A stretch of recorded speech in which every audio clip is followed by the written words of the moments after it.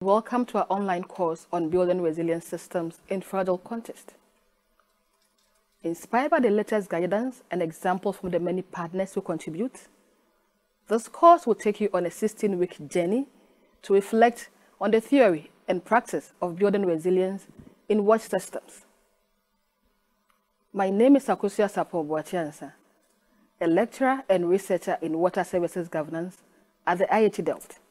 I, together with Juliet Cortez, assistant professor in policy analysis at the TU Delft, and Karine Daniel, a humanitarian WASH professional and guest lecturer at the IHE Delft, will be your coordinators for this course. To help you throughout this journey, we have divided the course into three parts. The first part discusses expecting the unexpected. The second part is about analyzing WASH system. And the third and final part focuses on building resilient WASH systems.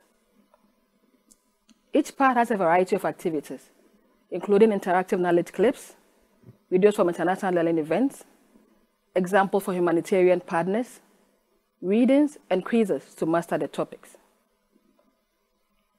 In addition to these activities, we will have four live workshops.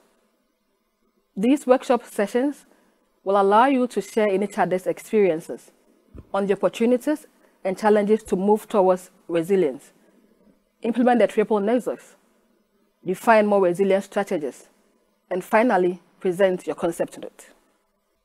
To start preparing for the unexpected in part one, we will answer questions such as, what is resilience? What are the qualities of resilient systems? How can the nexus between humanitarian development and peace help in building resilience in fragile context?